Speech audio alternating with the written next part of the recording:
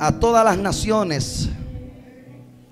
Desde acá de San Pedro de Macorís, de la ciudad del Espíritu Santo, le bendecimos en el nombre de Jesús.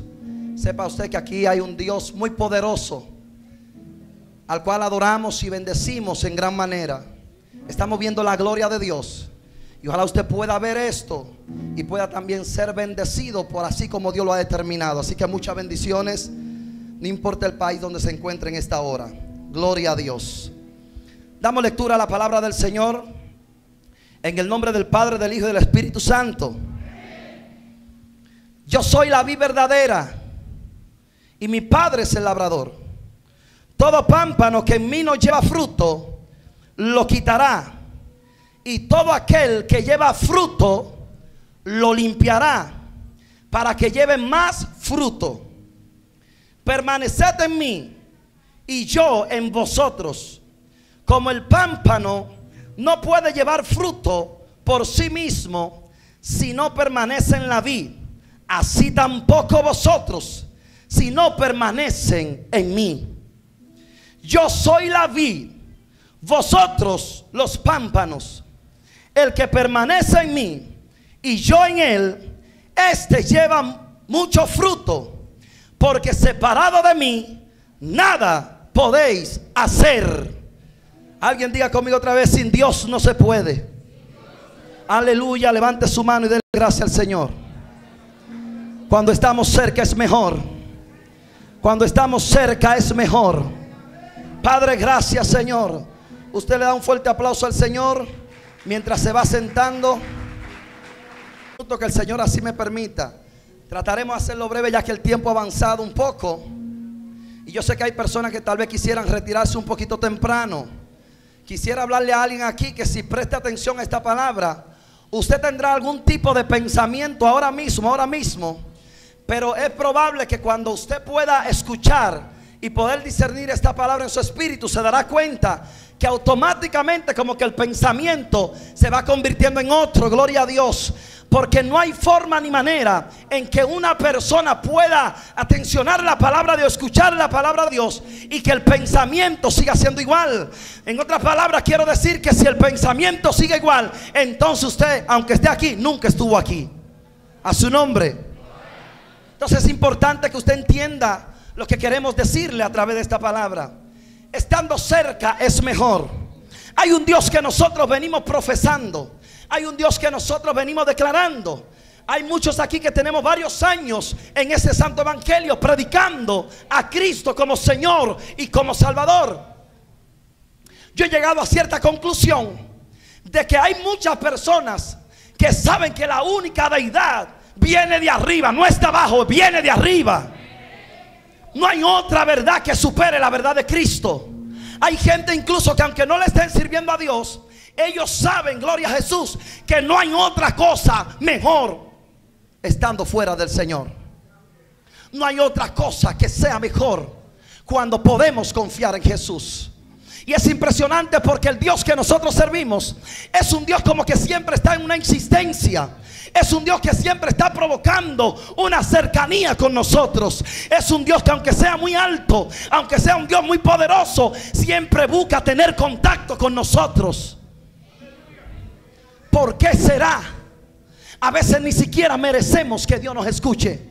A veces ni siquiera merecemos que Dios nos preste atención. Pero en tu momento de dificultades, en tu momento de prueba, en momento de aflicción, sabes que cuando sabes levantar tus ojos al cielo, aleluya, que sabes abrir tu boca, que sabes hablar con Dios, siente como que alguien te escucha.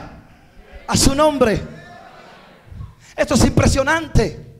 Pero como siendo un Dios tan poderoso, como siendo un Dios tan grande, quiere tener relación con nosotros, quiere estar tan cerca de nosotros. ¿Por qué será que un Dios tan santo, tan puro, tan grande, tan poderoso, quiere estar todo el tiempo cerca de mí? Diga alguien conmigo, porque del principio era así. No, pero hable por favor. Porque del principio era así el asunto. Hay muchos que decimos, estoy muy cerca de Dios. Estoy agarrado de Dios. Pero cuando tú haces un autoanálisis, te das cuenta que hay muchos kilómetros lejos de Dios. Pero Dios procura acercarse. La insistencia de Dios es poder tener otra vez a coinonía. Porque en el principio el asunto era así. El diseño que se formó era así. Dice la Biblia que cuando fuimos formados y creados había una relación tan estrecha, había una coinonía tan estrecha, que así como yo le estoy hablando a ustedes, así hablaba el Señor con su creación el hombre, así hablaba con él cada día, tanto así que era una especie como hasta de costumbre.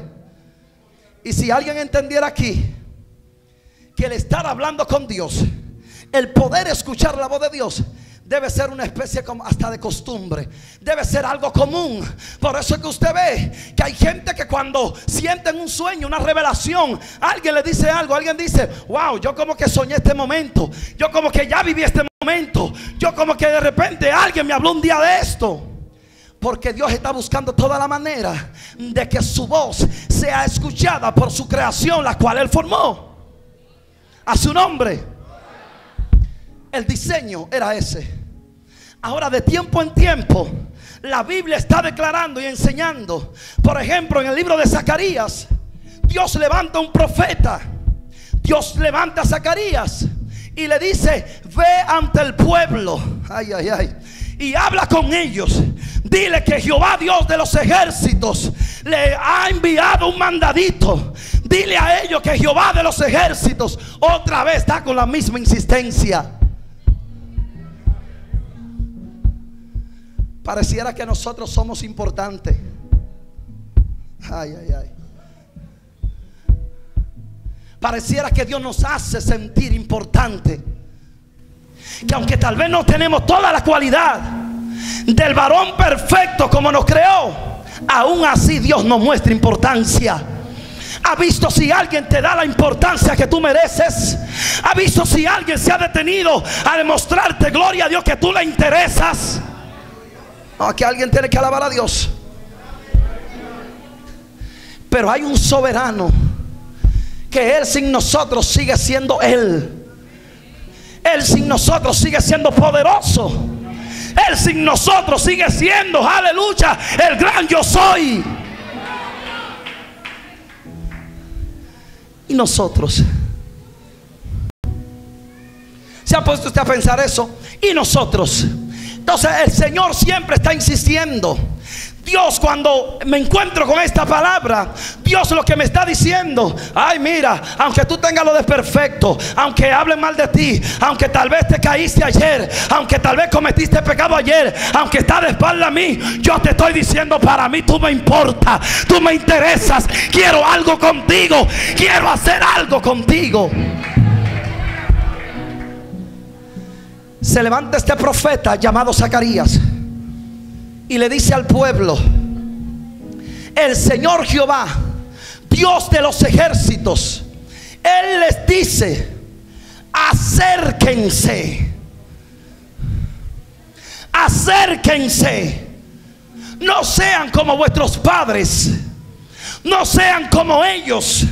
El mismo mensaje, la misma palabra, se la di yo a ellos. Pero ¿sabe qué pasó? No hicieron caso.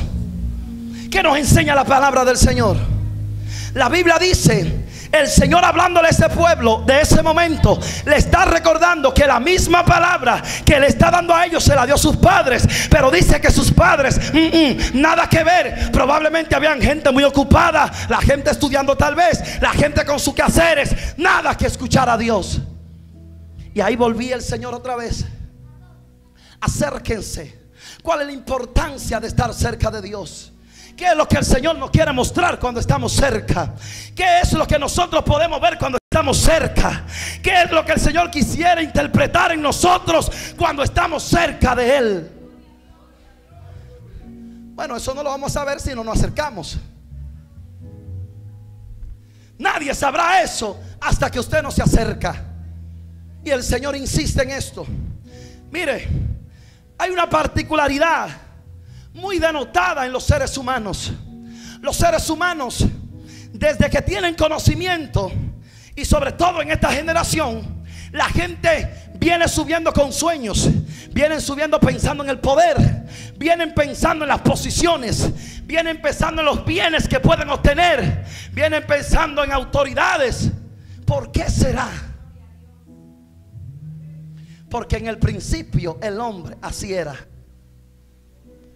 El Señor cuando forma al hombre le da toda autoridad sobre todo lo creado. Yo me río cuando escucho gente hablar de otro y decir, ah, es que él siempre quiere ser el jefe, él siempre quiere estar a la cabeza, él siempre quiere estar dirigiendo, él siempre quiere tener lo mejor. Él si para, para poder tener lo mejor, si tiene que matar, él va a matar a su hermano.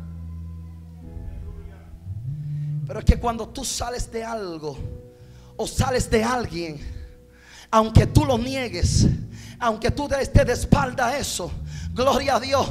Mira, en cualquier momento va a salir aquello con lo cual se te diseñó, con lo cual se te creó. Aleluya. Cuando Dios le dijo al hombre, te he hecho para que gobierne, para que esté arriba, no para que esté abajo, para que gobierne y no para que te gobiernen.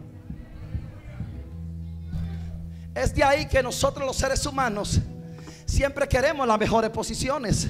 Porque el hombre estaba en la mejor posición. Es de ahí que sale. Porque el hombre quiere siempre ser como cabeza. Porque así le llamó Dios. Será la cabeza de toda la creación. Solamente yo estaré encima de ti. Gloria a Dios. Pero a todo lo que tú hables, a todo lo que tú menciones, va a responder. No por lo que Dios diga, por lo que tú digas con tu boca. Por eso que tú ves que la gente hace tantas cosas, traiciona, engaña, no le importa lo que le pueda pasar al otro, con tal de que me posicionen a mí. Ay, gloria a Dios. A veces hay oportunidades para tu hermano, el que está al lado, pero tú entendiste que tú tienes las cualidades. Tú estás entendiendo que tú tienes el calificativo Tú estás entendiendo como que tú eres más estudiado. Tú estás entendiendo como que eres lo mejor. Pero Dios a quien quiere bendecir es a tu hermano que está al lado. Pero esto sale a razón de que los hombres siempre quieren estar arriba. A razón de que siempre queremos estar adelante. A razón de que siempre quisiéramos estar gobernando. Es por eso que la gente está haciendo lo que está haciendo. Ahora bien, lo que está pasando ahora es que la gente lo está haciendo fuera de Dios. Las decisiones, nuestros propios deseos, ponemos en juego o ponemos en evidencia nuestra propia voluntad. Y nadie se detiene a ver qué es lo que Dios realmente quiere. Nadie se detiene a ver cuál es el propósito de Dios. Tú podrás venir con un sueño varón aquí. Llegaste cuando no conocía nada de esto. Pero poco a poco Dios te ha ido mostrando. Dios te ha ido enseñando que tú llegaste al mejor lugar. Porque tenía una especie de pensamiento allá afuera. Pero ahora el pensamiento es otro. Porque Dios es lo que hace. Cuando te, ay, gloria, cuando te acercas a Dios, las cosas comienzan a tener sentido. Pero muchas veces creemos, bueno, nosotros no estamos graduando casi ya. Y tal vez nuestro pensamiento son ocupar una gerencia de la mejor empresa o como nos enseñaron, tener nuestra propia empresa. Esos sueños son bonitos.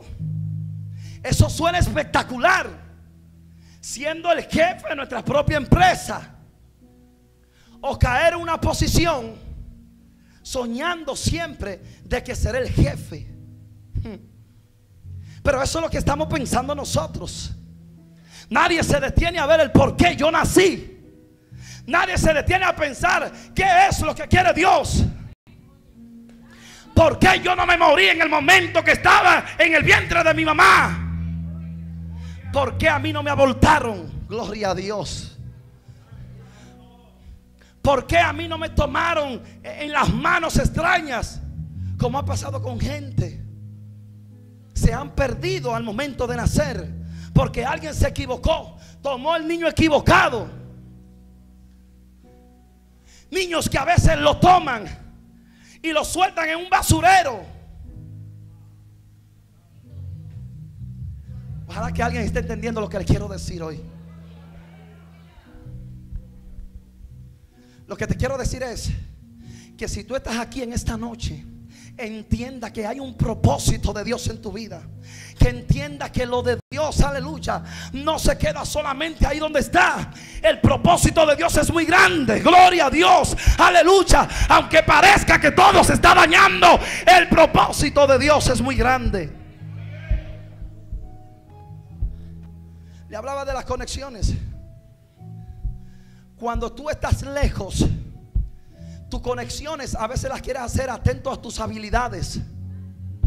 Las conexiones las quieres hacer atento tal vez a tu léxico, a tu labia, a tu muela. Las conexiones tal vez tú quieras hacerlas porque, bueno, tengo la facilidad, el acceso de penetrar allí, aquel lugar y poder posicionarme. Ay, ay, ay.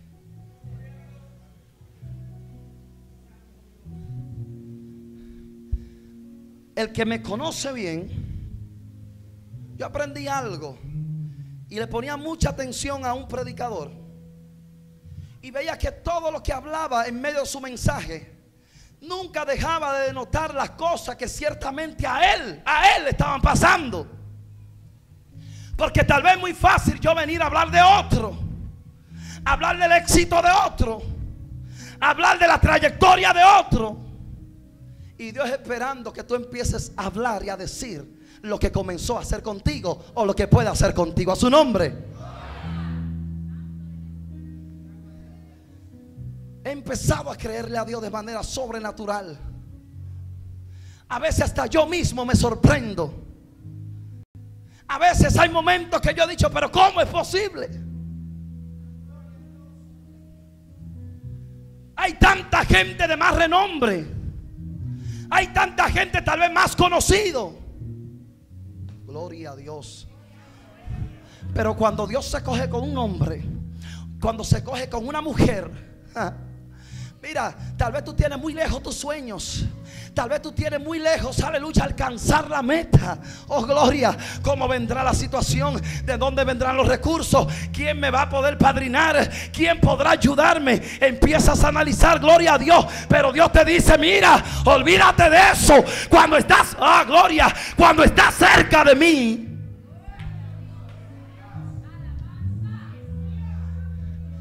El bien, la misericordia de Dios yo tendré que caerle atrás a eso.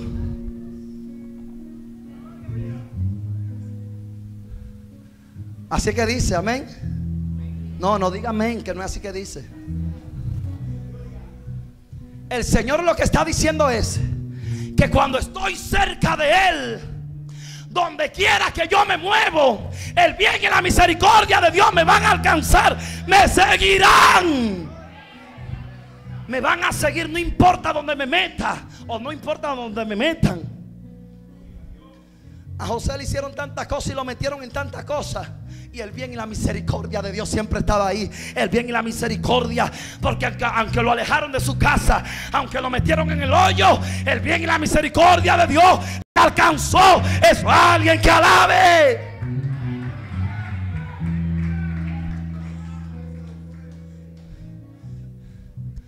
Cuando estamos cerca, el diablo podrá querer hacer todos los planes. Usted no ha escuchado de gente que hace todos los planes del mundo. En el caso de las mujeres, bueno, cuando yo me vaya a casar, yo mi traje tiene que llevar esto, tiene que tener esto, tiene que tener aquello. Pero de repente en el trayecto empiezan a suceder cosas. Esto no puede ser posible. Porque a mí estoy a punto de casarme. Mucho tiempo esperando para mi boda. Ya yo tenía el vestido mirado. Ya yo lo tenía hasta comprado. Teníamos hasta la casa lista. Como le pasó a un amigo mío. A la novia de este video. Compró todo. Planeó todo hasta alquilada tenía la pieza. Y al final no hubo boda. Porque la gente que hace planes, la gente que presenta proyectos, si no estás cerca del que todo lo puede, aunque parezca que al principio te funciona, mira, se quedará. Eso no provoca tal vez mucho, mucha alegría porque hay gente, varón, tenga cuidado con lo que usted está diciendo. No, lo que pasa es que te estoy diciendo que el asunto es así. El Señor claro está hablando y está diciendo, cuando tú estás cerca de mí, mira, de mí sale todo. Eso es lo que está diciendo el Señor. No hay otro lugar. No hay otra forma de donde puedan salir las cosas. Por eso Cristo, donde leímos, Él dice, yo soy la vid. La vida es como algo que da vida. Es como algo de donde emanan todas las cosas. Que no hay otro lugar de donde puedan salir las cosas. Eso está diciendo Jesús. De mí solamente de mí salen todas las cosas. De mí todas las cosas pueden ser posibles. Aunque con tus ojos naturales lo ve imposible. Eso es lo que está diciendo el Señor. Él está diciendo a, los que estaban con él. Yo soy esa vid. Ustedes son aquellas ramas. Ustedes son el pámpano. Usted ha visto la mata de plátano. La mata de plátano muy fuerte se va poniendo fuerte. Y cuando llega su tiempo de echar ese, esa pámpano, mientras se mantenga pegada de esa mata, eso siempre está verde. A su nombre. Usted ve que de repente ese pámpano empieza como a abrirse, a levantar, como sus hojas así. Y empieza a abrirse. El Señor quiere abrir algo nuevo en tu vida. Y te ha dicho, lo voy a abrir si te acerca. Porque mientras estés cerca vas a ver. Dice que esto empieza a abrirse. Y al momento entonces empiezan a brotar esos guineitos, esos platanitos. Que al principio se ven flaquitos, delgaditos.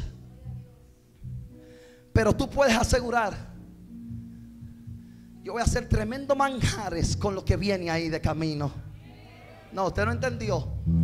Cuando lo tuyo empieza a florecer, cuando está pegado a esa vid, nada nada podrá impedir que esas cosas empiecen a abrirse, que empiecen a florecer, que empiecen a multiplicarse y que la gente empiece a decir, wow, mira, esa mata, esa mata de plátano, porque mira sus frutos, mira cómo se abre, wow, qué bonito está. Por eso es que todo el que ve una mata de plátano en el camino, mira para todos los lados, cuando no hay dueño,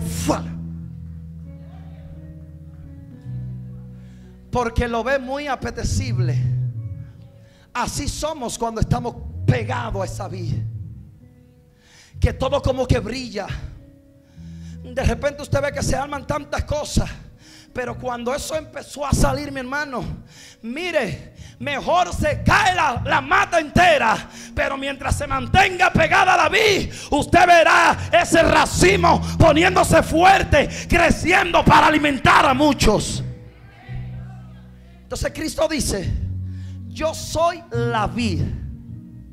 Ustedes son esos pámpanos. ¿Cuándo? Cuando están conectados a la vid. Eso me parece que estar cerca, ¿no? El asunto funciona, florece cuando se está cerca. Cuando tú veas como que de repente no floreces.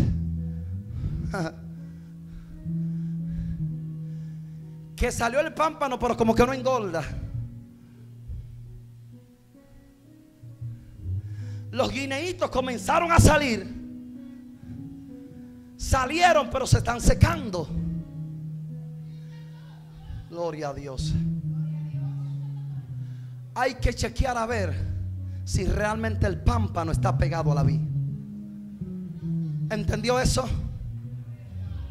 Hay que chequear eso. Porque si Cristo mismo es que está diciendo, mientras esté pegado a mí, eso tiene que florecer, tiene que crecer, no se puede detener. Tiene que haber evidencia, gloria a Dios, de que está pegado a la vida.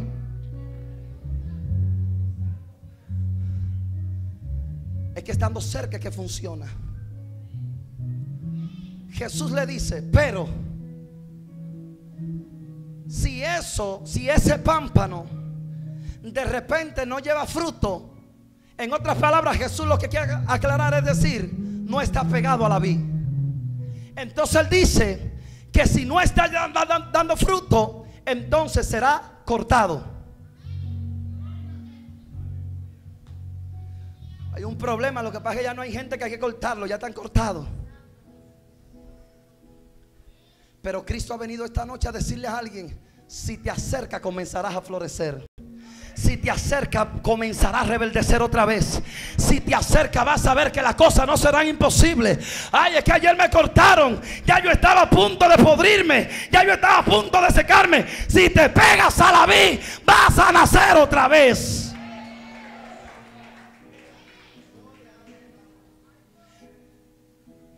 En el Señor no hay no hay nada que se pierda. Por eso es que cuando tú estás debidamente conectado, y esto sí me gusta ahí, no sé para usted, pero eso me da gozo a mí. Y es lo siguiente, entendiendo esta palabra que el Señor me da, me hace entender que mientras estoy conectado, mientras estoy pegado, mientras estoy cerca, esos frutos como que se están viendo.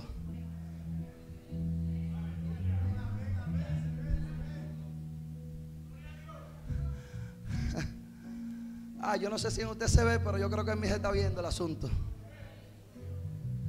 Dile a alguien, ¿dónde están tus frutos?